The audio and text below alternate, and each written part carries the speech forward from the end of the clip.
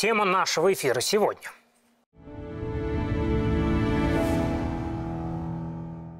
Сновидение – это сказки, которые мозг рассказывает сам себе. Сон – это такое свидетельство любви Бога к человеку. Жаворонки притесняют сон. Периодическая система раньше приснилась Пушкину, но он просто ее не понял. Почему так тяжело 24 часа не спать? Михаил Григорьевич, а часто можно услышать, что сон – это важнейший процесс в организме. Почему? Потому что без него невозможно жить.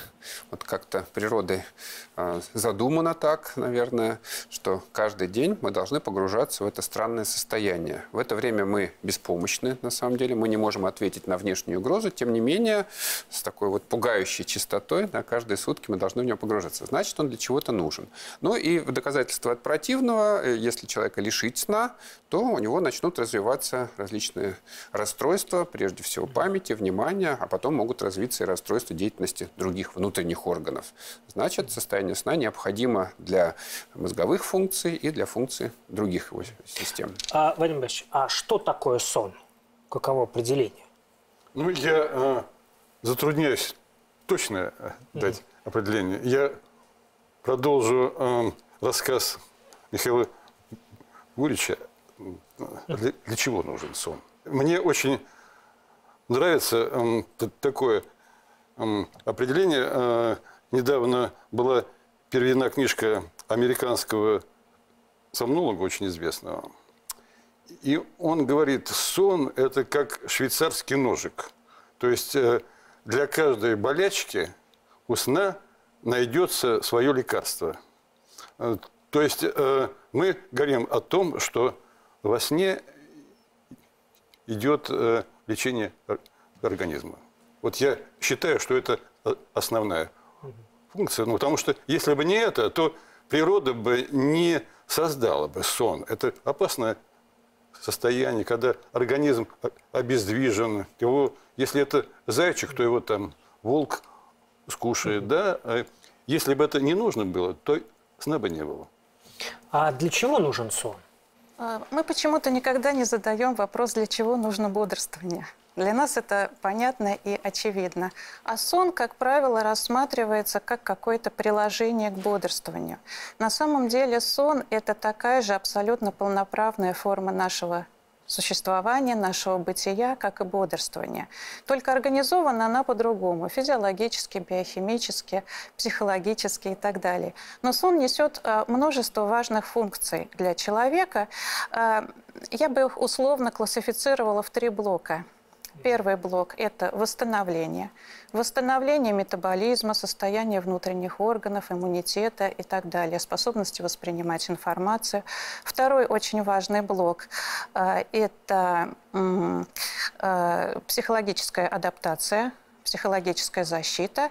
И третье – это э, формирование, развитие, э, особенно это важно в детском возрасте, да, восстановление э, нейрональных связей и так далее. Есть разные исследования по этому поводу, которые говорят о том, что сон у ребенка способствует развитию высших мозговых функций. Да, некоторые дети даже первые слова во сне начинают говорить раньше, чем это делают бодрствование. Есть такие наблюдения.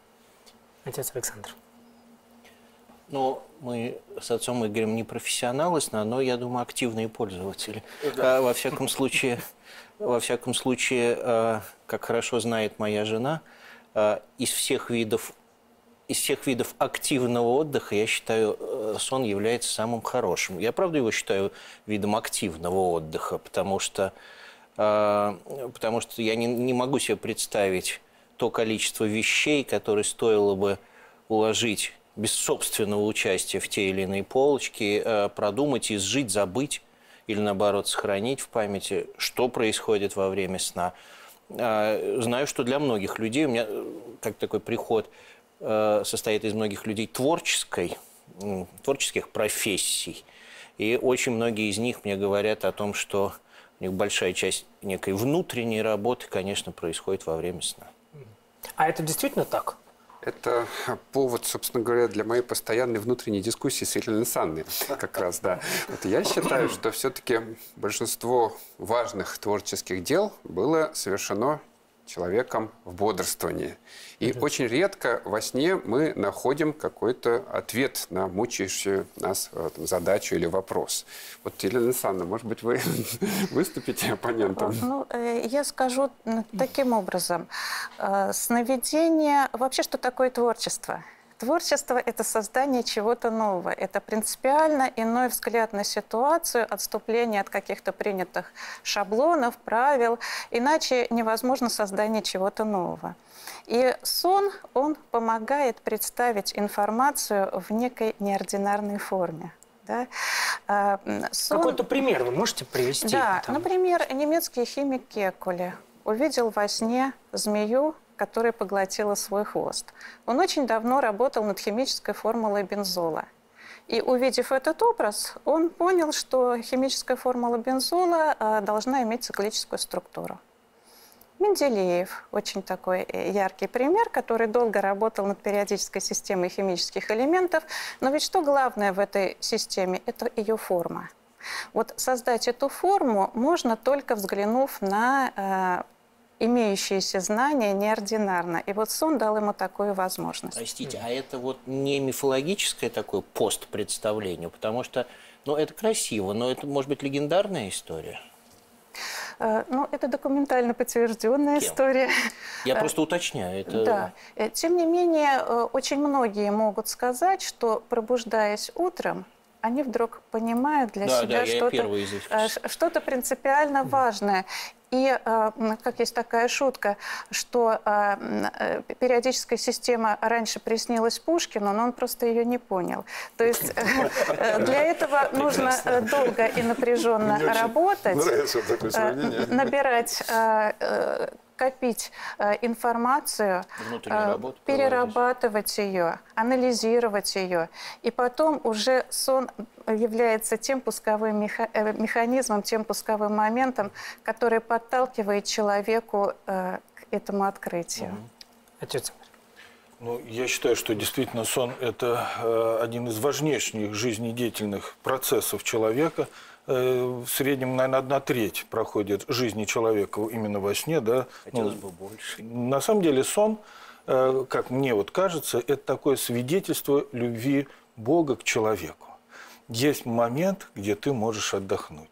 Есть момент, без которого, в общем-то, ты э, не можешь существовать. И мне кажется, что сон – это свидетельство того, что Бог существует. Это заложено у нас в генах. Да, и это необходимый такой процесс на самом деле деятельности. На, на сон большое внимание обращают святые отцы в своей аскетике. Э, Причем они э, говорят о размеренности сна, о индивидуальном подходе, каждый должен подходить ко сну. И этому уделяют очень-очень большое значение. Продолжим наш разговор после короткой паузы. Никуда не уходите. А сны – это странная вещь. Да они не нужны с точки зрения физиологии. Наш мозг устроен таким образом, чтобы мы не запоминали сновидения. Это ведь, возможно, несовершенство метода исследования.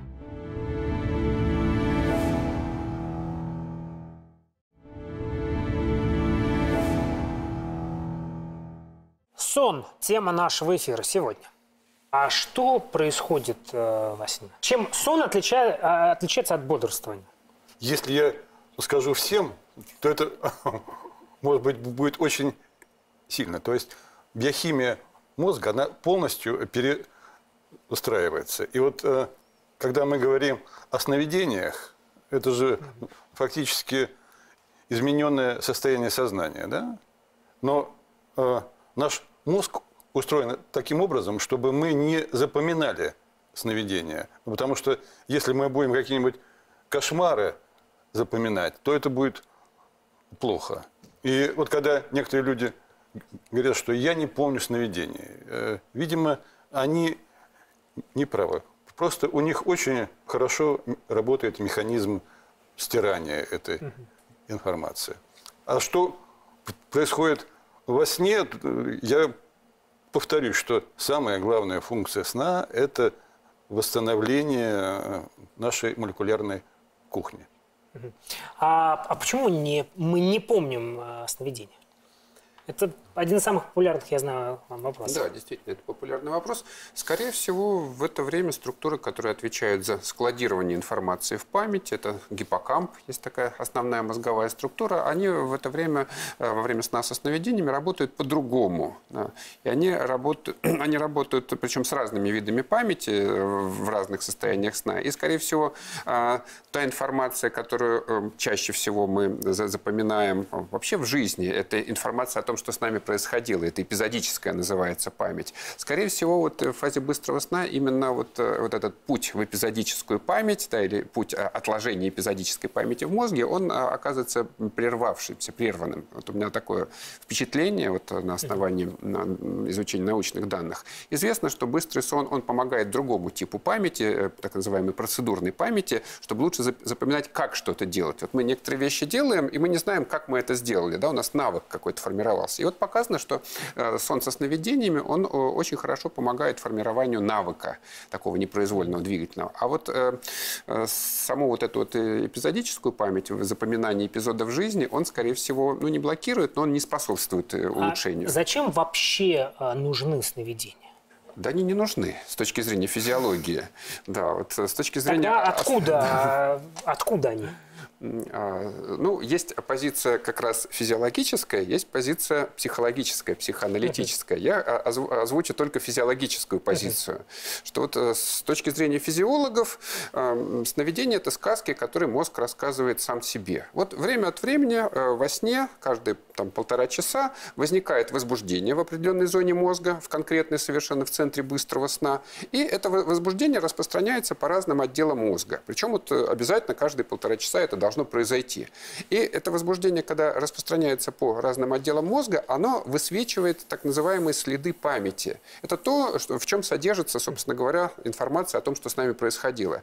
Чаще высвечиваются свежие следы памяти, то, что с нами недавно происходило перед сном. Поэтому часто очень мы видим как раз то, э, чему мы были свидетелем э, перед укладыванием в постель. Телефильм, там, разговор с кем-то нам может присниться очень легко, потому что это свежие следы памяти. Там очень хороший электронный ток вот по этому пути идет. Но иногда вот эти вот импульсы из центра быстрого сна, они могут э, растормозить старые следы памяти. И мы видим, например, э, мы ведем, например, с кем-нибудь там диспут э, во сне, в антураже, который пришел к нам из какого-нибудь нашего детства, да, наш там старый дворик, там, речка и так далее, да. И вот это вот смешение вот таких вот непонятных совершенно деталей сновидения как раз с точки зрения физиологов и говорит о том, что растормаживается совершенно хаотично следы памяти в мозге, но чаще растормаживаются более свежие. Но это взгляд физиологов. А да. пси- Нет, я вот тоже физиолог, угу. я с этим не согласен. Да. Да. Угу. Вот мне очень нравится э, позиция отечественного физиолога Владимира Ротенберга. Он э, пишет, что э, бодрствование, наше дневное сознание, оно обрубает лишнюю информацию. То есть э, для дневного сознания нужно четко э, событийное понимание, что происходит. Лишняя информация, она э, обрубается, уничтожается. Но в подсознании эта информация сохраняется.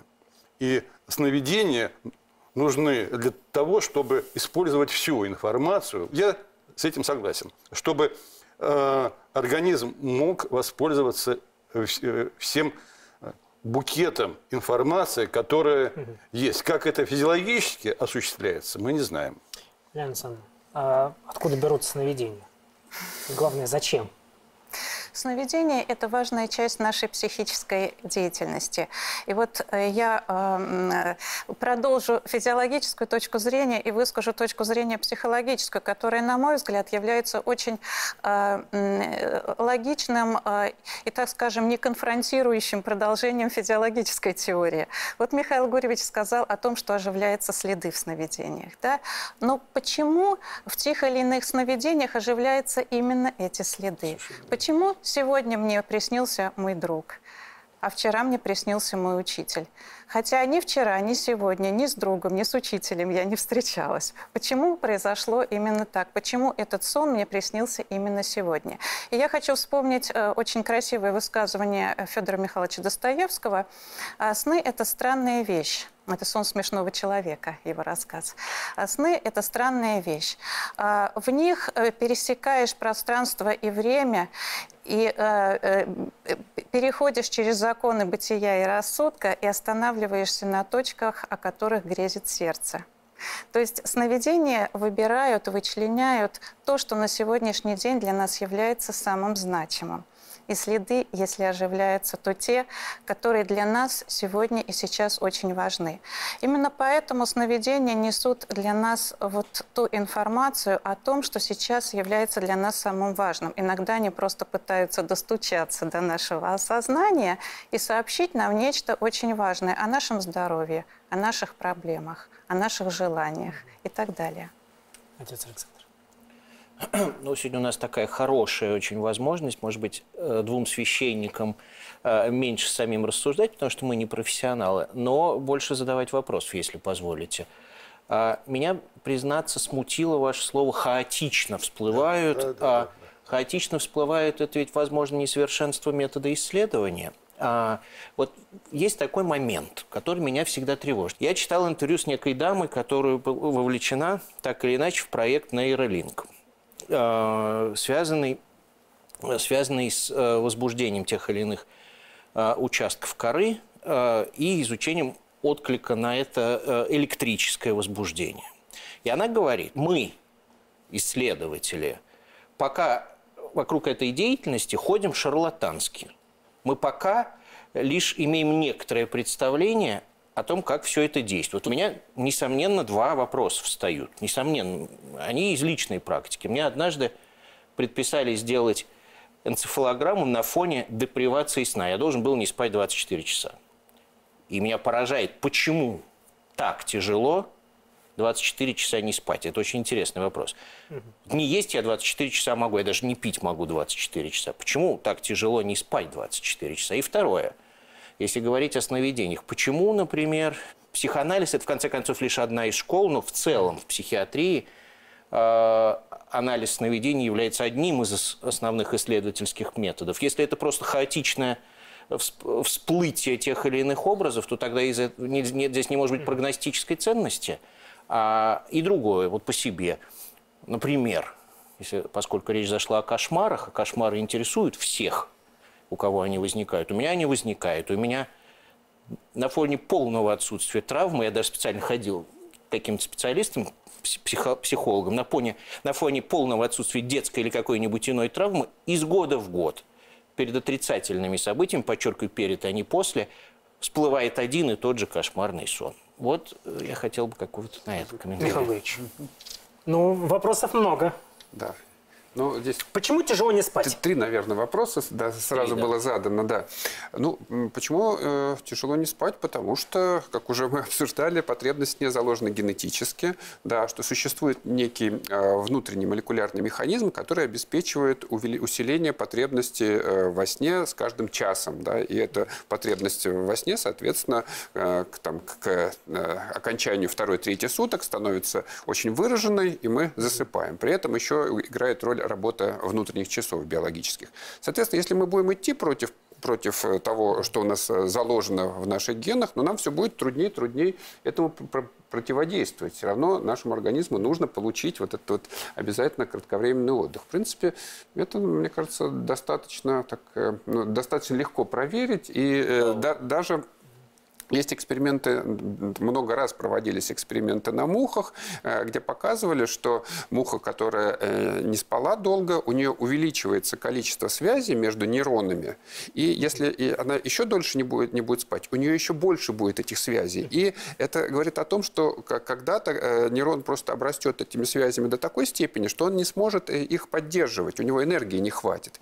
А как только мухе давали возможность поспать, у нее количество связей резко уменьшалось оставались только э, полезные связи, те, которые ведут в нужные области памяти, А например. увеличение – это усложнение Да, ус- структуры. усложнение, но это избыток. Да? То есть, когда мы, мы, э, не спим, мы все время получаем новую информацию. А, и она, э, вот этот нейрон в итоге перегружает. И если бы мы не спали, мы бы, ну, нейрон бы, не, не мы бы, нейрон бы прежде всего перестал бы функционировать. Мы спим, нейрон очищается от лишних связей а, и может работать следующий цикл, следующие сутки. Это теория синаптического гомеостаза. Называется на- наиболее сейчас известная теория назначения сна для нервной системы. Но вторая часть вопроса касалась сновидений. Да, э, ну, я начну с ночных кошмаров, да. Что такое ночные кошмары? Ночные кошмары – это э, очень негативно эмоционально заряженные сновидения. А вообще, как известно, среди всех сновидений лучше всего запоминаются именно отрицательно эмоционально заряженные сновидения. А, И сами по себе устрашающие сновидения, они патологией не являются, если они снятся время от времени, э, либо же непосредственно э, после психотравмирующего события, после какой-то неожиданной ситуации, противоречивой информации и так далее, которую нужно переработать. В ночных кошмарах э, эта информация перерабатывается, и человек с ней справляется и адаптируется. А Бывает иногда, что сновидения э, устрашающие снятся непосредственно перед негативными событиями. А В этом случае, возможно, сказывается э, некая внутренняя тревога, напряженность, да, э, что человек ожидает этих событий, беспокоится. Например, Карл Густав Юнг, был такой э, психоаналитик, выделял три классических варианта тревожных кошмара. Это сновидение о несданном экзамене, Да, да. сновидение с погоней и преследованием и сновидение с катастрофами и стихийными бедствиями. И действительно, вот я у своих пациентов тревожных регулярно такой тип сновидений наблюдаю. То есть эта актуальность сохраняет эта классификация? Да, безусловно, она сохраняется. Ну, еще много других признаков тревожных сновидений. Но, тем не менее, что стоит за ночными кошмарами? Ночные кошмары, а, если они становятся постоянными, регулярными, мучительными, то это уже сигнал тревоги. На это следует обратить внимание. А, Они могут свидетельствовать о болезни, о неразрешенной психологической проблеме, то есть о чем-то о таком, что у человека в жизни неблагополучно. То есть это вот такие звоночки тревожные. Если они постоянные, навязчивые и часто э, снятся человеку. Продолжим наш разговор после короткой паузы. Не переключайтесь. Наш мозг – мощнейший компьютер. Есть совы, жаворонки, но есть еще и дятлы, которые мешают спать и тем и другим. В сновидении мозг все время создает модели реальности.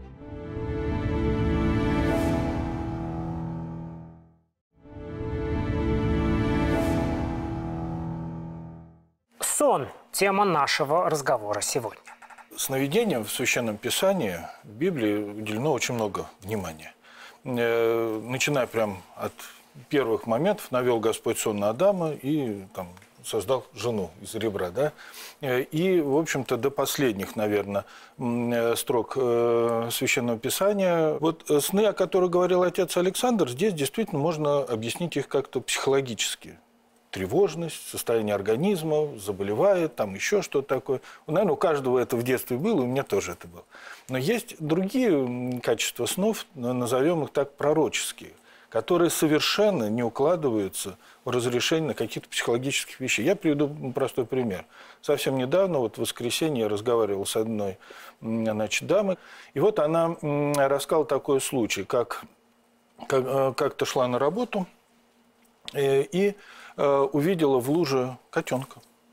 Было холодно, там, ноябрь-декабрь, это какое-то время продолжительно назад, было еще в советские времена, и вот она, э, он мяукал, она такая очень сердобольный человек, но э, ответственность перед работой у ней превозмогло, и она как бы сказала себе, что э, ты уж если дождешься меня на обратном пути, я тебя заберу.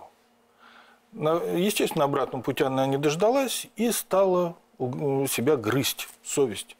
Ну, Что же такое, как и, и так далее и тому подобное. Проходит, как она говорила, если я не ошибаюсь, два дня, и ей снится сон.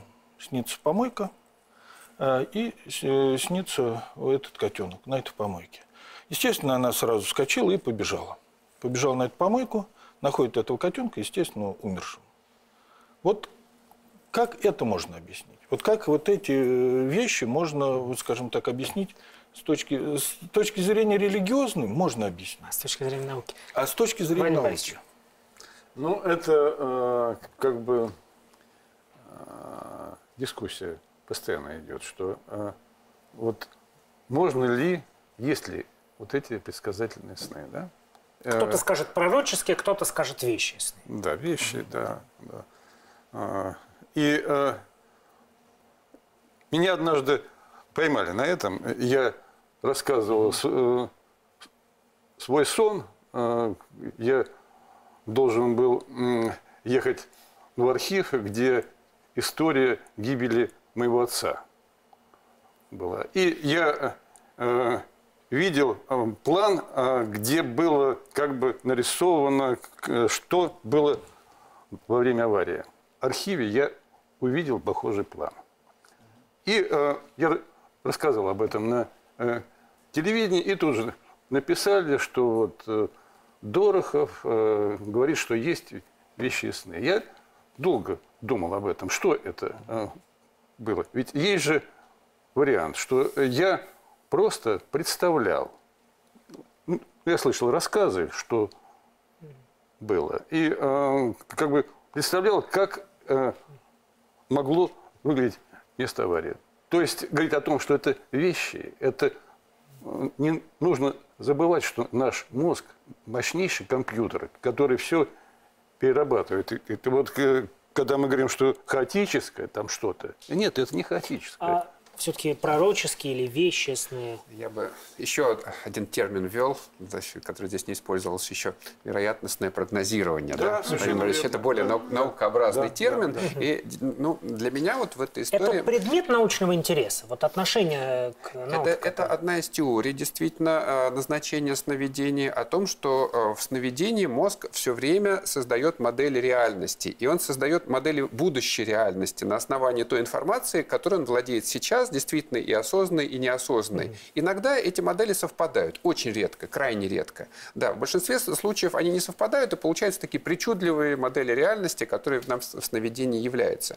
Но вот э, для меня э, загадкой все равно остается э, такой вопрос. Э, С одной стороны, мы в сновидениях чаще всего видим то, что с нами раньше было, да, особенно после каких-то психотравмирующих событий, да, у человека прокручиваются эти события вновь и вновь, да. То есть есть некий механизм во сне, который обрабатывает вот то, что происходило в сновидении. Значит, теория неверна, значит, мозг не занимается в это время вероятностным прогнозированием, он занимается обработкой того, что было. А с другой стороны, очень редко бывают вот такие, такого рода вещи, сновидения, про- про- там, про- прогностические и так далее, как их ни назови, да, которые действительно как-то могут немножечко нам дать информацию о будущем. Но не может же так быть, что э, в части сновидения работает один мозговой механизм, а в части другой. Почему Нет, не может механизм быть? один должен Да работать. нет, Нет, ну, он, э, программа должна быть одна. Елена Нет, нет, я не согласен. ваш взгляд. Э, Я считаю, что очень даже могут совмещаться в сновидениях разные механизмы. Я более того скажу, в сновидениях очень много разных пластов. И э, на э, одно сновидение можно посмотреть и э, таким образом, и другим образом, и третье. Оно очень Но многоплановое. все-таки вот эта история про пророческие, Про кто-то называет их вещами. Действительно, один из самых таких частых и актуальных вариантов объяснения – это вероятностное прогнозирование. Еще Аристотель говорил о том, что сновидение – это мышление, продолженное во время сна. И когда человек домысливает ситуацию, он рассматривает наиболее вероятностный прогноз, э, м, наиболее вероятный прогноз развития событий, а э, во сне наше бессознательное, оно очень мудрое, поскольку оно освобождено от всех помех бодрствующего сознания, может сконцентрироваться на самом главном и выстроить очень правильный прогноз. Ну вот, например, эм, Цицерон, который э, в своем философском трактате «Сон Сципиона» предсказал разрушение Карфагена. Он там и, и- и другие многие исторические события. Что это? Вещи сновидения или же это просто вот такая историческая дальновидность? Но есть и другие механизмы, по которым э, с- сновидение может сбываться, как будто бы. Да? А, Например, это так называемые самоосуществляющиеся предсказания. Ну, например, э, человек видит во сне, что он поссорился с другом. Он начинает подозрительно косо смотреть на друга, невольно, абсолютно бессознательно провоцировать какие-то конфронтирующие ситуации, и в итоге это приводит к ссоре. То есть человек сам бессознательно приводит э, по своему сценарию да, э, э, жизненную ситуацию к исполнению вот сюжета сновидения. Тогда возникает вопрос, а осознанные сновидения бывают? Осознанные сновидения бывают. Есть такая э, распространенная загадка-шутка, на какой вопрос нельзя ответить положительно. На вопрос «ты спишь?» Вот осознанные сновидения, они являются исключением из этого правила. Находясь в осознанном сновидении, человек понимает, что он спит. Э, и понимает, что, э, понимая, что происходящие события ему только снятся, он может, э, например, менять сюжет. Или он может в нужный момент проснуться, если это кошмарный сон. То есть это вот такие возможности регулирования, почему они еще называются управляемые сновидения, люцидные сновидения, потому что человек может управлять сюжетом. Мы стали говорить сейчас о о темах сновидений. Вот в приведенном отце Игоре примере ясно, что содержится ну, линейная логика, что э, вот ее житейский опыт этой женщины мог бы подсказать, что вот так оно все разовьется. Но мы и из священного писания, и если даже абстрагироваться от э, священных книг христианства, мы можем вспомнить и другую литературу, чем доантичную, э, осуществляется моральное инструктирование главного героя осуществляется вне связи с его практической деятельностью. Из новейших таких ярчайших примеров вот святитель Филарет Московский, глава церковной Москвы XIX века, середины XIX века. Он собирается наказать одного священника за пьянство. Совершенно такая будничная ситуация, отстранить его от службы. И во сне ему является масса людей, которые за этого священника ходатайствуют. Он вызывает этого священника к себе и говорит, ты э, пьянствуешь, пьянствуешь, службу хорошо знаешь, плохо, по-славянски хорошо читаешь, плохо, поешь хорошо, плохо, а что ну, доброе тебе что-нибудь содержится? Он говорит, ну, не знаю. А людей ты поминаешь? Поминаю.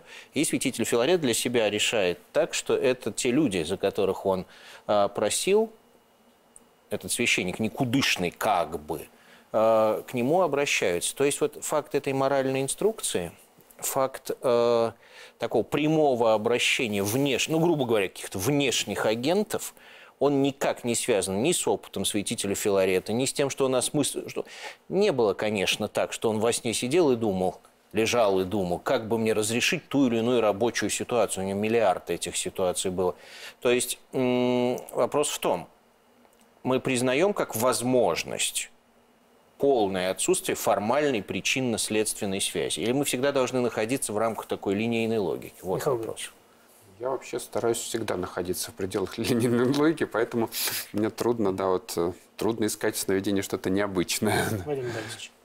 Я не вижу особых э, противоречий, что э, как бы он сталкивался с такими священниками не раз, да, и знал, что вот э, как бы даже, как вы говорите, никудышный э, священник, если вот он там э, поминал людей, то он делал доброе ну, да. дело, да. да. И, и эта аргументация вот как бы всплыла во сне, я не вижу форме. Да, есть противоречий особых. Много вопросов, связанных непосредственно со сном. Норма сна. Ну, для чего нужна норма сна? Для того, чтобы э, поддерживать достаточный уровень э, и э, активности дневной и здоровья в итоге. Да? Вот. да, действительно, в 2015 году такой был международный консенсус выработан, что для людей среднего возраста, например, рекомендуется иметь не менее 7 часов сна в сутки. Для пожилых людей тоже. Вот. 7 часов, внимание. Да, не менее 7 часов. А вот не вер... менее, а есть какая-то... Есть верхняя средняя? планка для людей среднего возраста до 60 лет, это до 9 часов. Вот между 7 и 9 часами это норма. То есть человек, спящий вот э, это время, он э, не испытывает угрызений совести, что он спит слишком мало и слишком, или слишком э, долго. А вот для людей старше 60 лет эта верхняя планка немножко понижена, 7-8 часов. То есть показано, что люди все-таки старших возрастных групп нуждаются в меньшем количестве сна, чем более молодые люди. А можно ли научиться спать 4 часа, например, в сутки? Выс- И высыпаться. Э, Дело в том, что у каждого человека э, генетически э, заложен а, определенный хронотип. И вот эта норма сна, она варьирует в зависимости от индивидуальных особенностей. И если говорить о том минимальном количестве, все-таки, которое необходимо для сна, то это, наверное, 5 часов. А то, что прибавляется, э, то, что к этому плюсуется, уже зависит от э, неких индивидуальных Ну, особенностей. вот тут разные цифры. 5 и 7. Э, Ну, это средние цифры, Михаил Георгиевич часов для жизни, да, Да, а для для жизни, хорошей да. жизни, да. так можно сказать. Да, совершенно верно. А, И а- одному человеку будет достаточно, скажем, 5-6 часов, да, и он себя будет чувствовать прекрасно, потому что наш главный критерий – это хорошее самочувствие в дневное время, да, когда человек доволен своим сном, и он хорошо себя чувствует при этом. Другому человеку будет мало и 9 часов. Э, Кроме того, э, что закладывается определенное количество сна, закладывается также и хронотип. Вот это вот разделение на сов и жаворонков – это не миф, а это действительно реальность, которая существует. Но кроме того, То есть это не придумка тех людей, которые ложатся в 2 часа ночи. это не придумка. Есть совы, жаворонки, но есть еще и дятлы, которые мешают спать и тем и другим. Но это шутка. На самом деле, действительно, есть совы и жаворонки, мы так условно их классифицируем, но есть еще и голуби, которые относительно легко адаптируются к любому а, А. Тогда возникает вопрос. Если у нас есть совы и жаворонки, почему весь мир живет по графику жаворонков? И вы разделяете вот, э, вот э, Потому эту- что эту- жаворонки притесняют сов. Да. Ну, Вы согласны с, Нет, с я этой хочу еще типологией? Доб- Нет, на самом деле, а, ну, в последнее время эта типология расширяется. Там не три типа, а их оказалось несколько больше. Вот мой коллега Путилов как раз э, предложил такую всеобъемлющую, я бы сказал, э, представление о хронотипах. Но я хотел бы добавить к этому вопросу, что мы знаем, что есть генетически короткоспящие люди. Ну, и об- обычно говорят Александр Македонский, Наполеон, там, Черчилль. То есть э, люди, которым достаточно было спать 4 часа. Но это исключение из правил. Это генетическое исключение. Это не исключение случайное, а мы знаем ген, который ответственен за это. И, в принципе, если такое возможно почему-то, да, то при определенных условиях, наверное, мы можем на это воздействовать. Вот, например, мы воздействуем на сон с помощью электромагнитных воздействий, улучшаем сон. Есть еще методы улучшения сна. То есть можно воздействовать. А как понять, э, сова я или жаворонок? Нужно отдаться... Ну, вы согласны с этим разделением? Отдаться на естественное течение э, дел, да, то есть не- не вставать утром на работу, да, например, в отпуске, вот э, просто-напросто присмотреться, когда вам комфортнее становится ложиться в вечернее время и в какое время утром обычно вы встаете. И постепенно, когда будет вот этот дефицит сна, который почти у каждого человека накапливается из-за того, что он э, ну, работает, ограничивает свое жел- желаемое время сна, когда этот дефицит времени, э, когда этот дефицит сна будет компенсирован, тогда-то и проявится, э, собственно говоря, э, вот такая вот Но нам сущность все время говорят о том, что биоритма. надо раньше ложиться, там мелатонин не вырабатывается, раньше нужно вставать и так далее, и так далее. Сейчас это очень э, И сон, и сон за, э, ч- до полуночи равен час сна до полуночи равен Да, двум да, часам да, сна да, после да. полуночи. Это говорят, на самом деле это неверная э, совершенно такая посылка, хотя, хотя в ней есть тоже э, некий смысл, потому что всегда, когда человек начинает спать, первая часть сна значительно качественнее, значительно глубже второй части.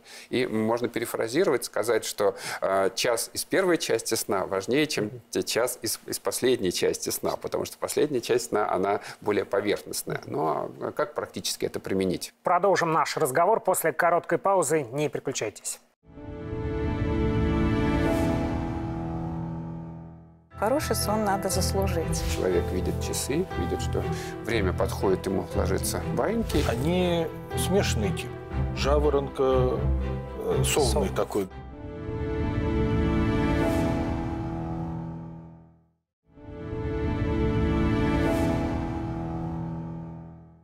Сон тема нашего эфира сегодня.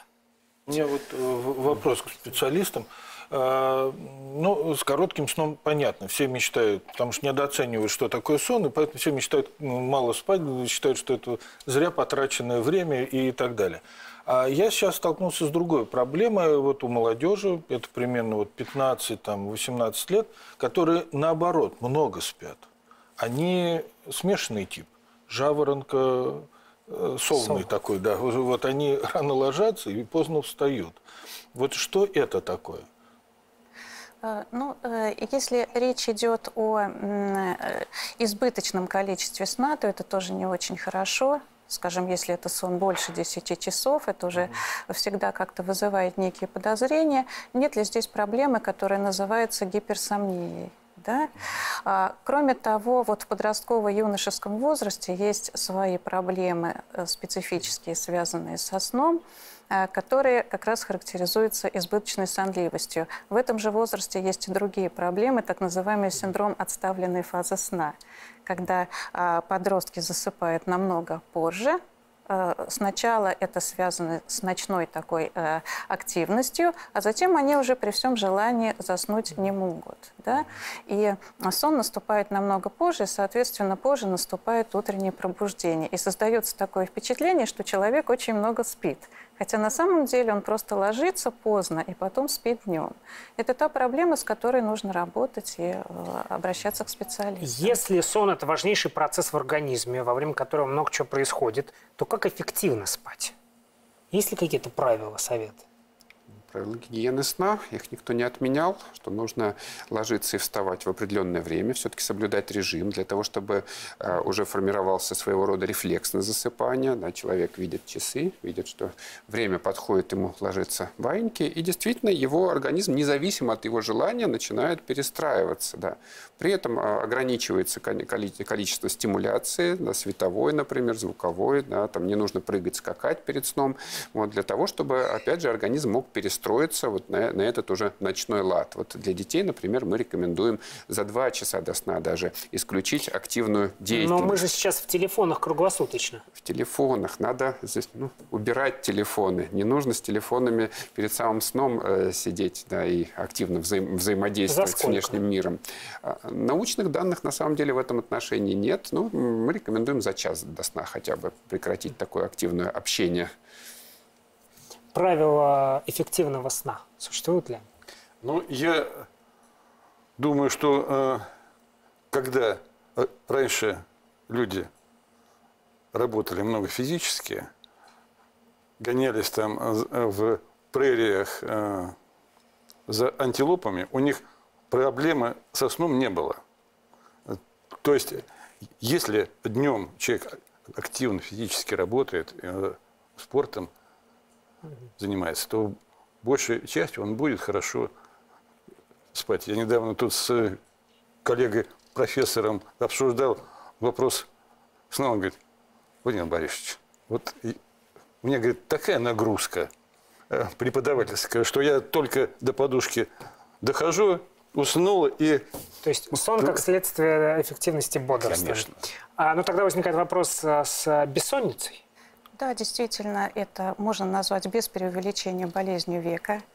Э, почти 50% населения э, периодически или постоянно страдают э, так называемой бессонницей. Этот термин мы чаще используем в обыденном лексиконе, а в медицинском отношении мы говорим инсомния. Инсомния – это э, та проблема, действительно, которая связана с нарушением засыпания, нарушением самого сна и, плохом, э, и плохим самочувствием непосредственно после пробуждения. И э, вот эта бессонница или инсомния, она бывает э, острой, то есть ситуационно обусловленной, Э, связанные с теми или иными событиями в нашей жизни, эмоциональными стрессами, болезнями и так далее. И она, как правило, исчезает после того, как разрешается некая ситуация. И есть инсомния хроническая. Вот э, у инсомнии хронической у нее уже более сложный механизм возникновения.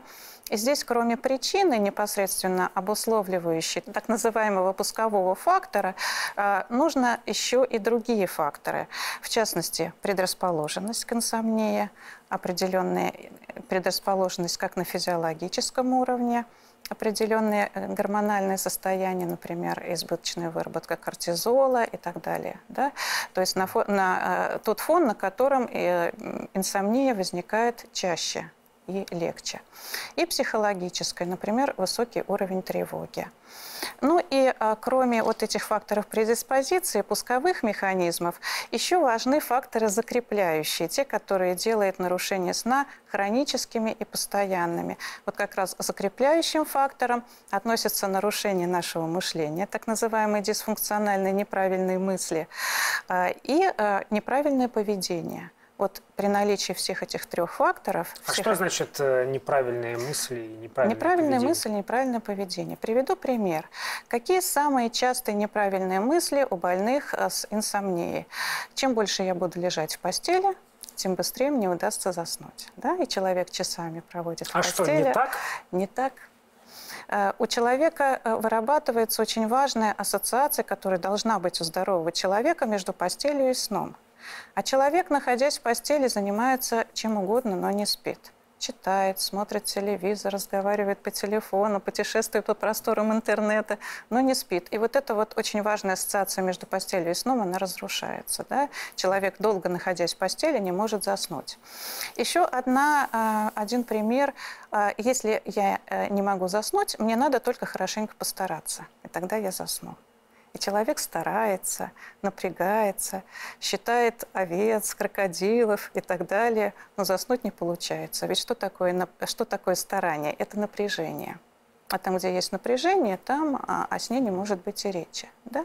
Вот это те э, неправильные мысли, можно еще привести много примеров, которые э, закрепляют и утяжеляют нарушение сна. И с ними нужно работать, их нужно перестраивать. То есть что делать, это то же самое, только в обратном Совершенно верно, да. А что такое неправильное поведение?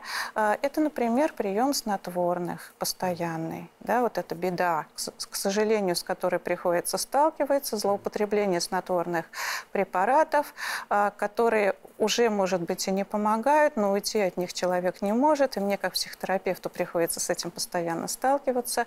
Еще один пример неправильного поведения – это когда человек начинает экономить силы на бодрствовании. Он боится что-то сделать, э, боится перенапрячься, боится проявить активность, потому что он боится потом не заснуть. Да, он несет себя как хрустальную вазу. А мы знаем, что в сомнологии есть такая поговорка, что хороший сон надо заслужить. Чем активнее, полноценнее человек проводит бодрствование, вот об этом Владимир Борисович говорил, а тем лучше он спит. Вот это еще одна ошибка. Я хотел бы еще в завершении, Михаил Григорьевич, спросить у вас относительно сна будущего вот через, э, там, я не знаю, 50-100 лет, возможно ли какие-то фундаментальные изменения?